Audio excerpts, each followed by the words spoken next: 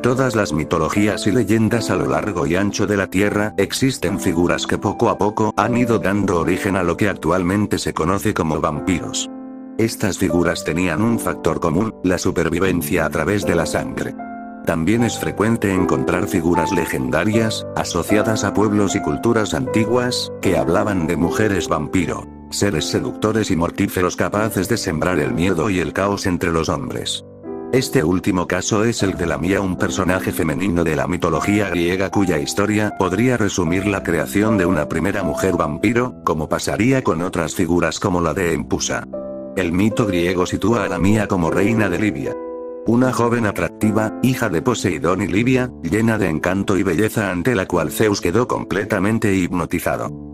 Un día Hera descubrió el amor que su dios le profería a la joven, lo cual hizo que se enfadara de manera desorbitada y quisiera vengarse de la hermosa reina. El castigo que la diosa tenía preparado para la mía fue desproporcionadamente cruel, tomó a los hijos de esta y los mató cruelmente, menos a Estila, delante de la misma para que pudiera ver su agonía y sufrimiento. A partir de este momento la historia varía un poco.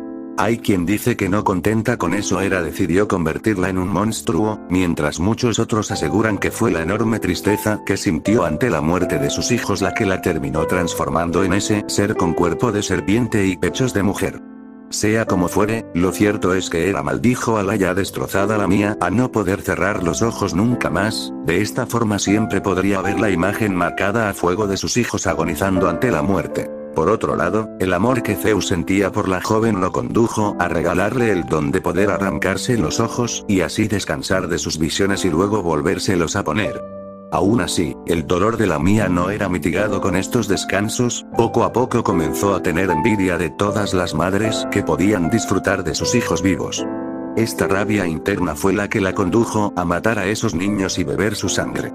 Si bien es cierto que al principio lo hacía seguramente conducida por el dolor y la rabia, posteriormente disfrutaría con este acto acostumbrándose a sobrevivir gracias a la sangre de dichos niños. Es así como nace esta figura mitológica, un ser que ha servido durante siglos a muchas madres griegas para asustar a los desobedientes hijos. Un personaje que bien podría ser el antepasado directo de la vampira moderna de hoy en día. Bueno amigos eso ha sido todo por el día de hoy. Suscríbete si así lo deseas nos vemos en el próximo video.